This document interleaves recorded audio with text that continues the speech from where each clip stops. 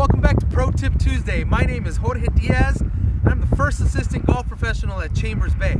I'm standing on number five tee box here, and this hole is called Free Fall. It's called Free Fall because the tee box is about 100 feet higher than the actual fairway. As you can see down in the fairway, there's two waste areas that go along the side, and they pinch and narrow up the fairway. Now that part of the fairways a long ways out. So basically, you have the green light here to let one fly.